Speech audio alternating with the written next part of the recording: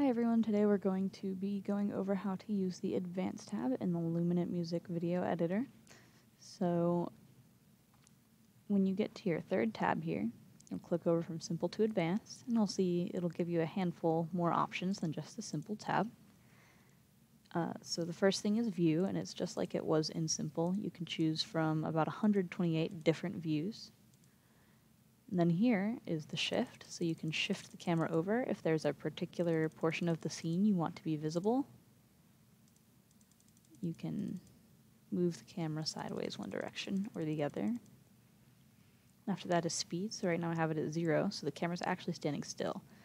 But if I put it at one, which is just the normal speed, you'll see the camera will move as the song plays.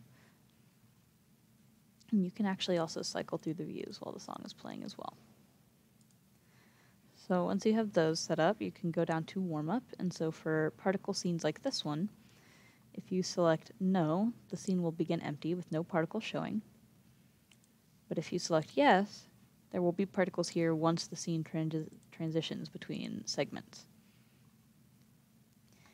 And after that, there's fade out. So if you select no, there will be an abrupt cut in between, say, this scene and the next one.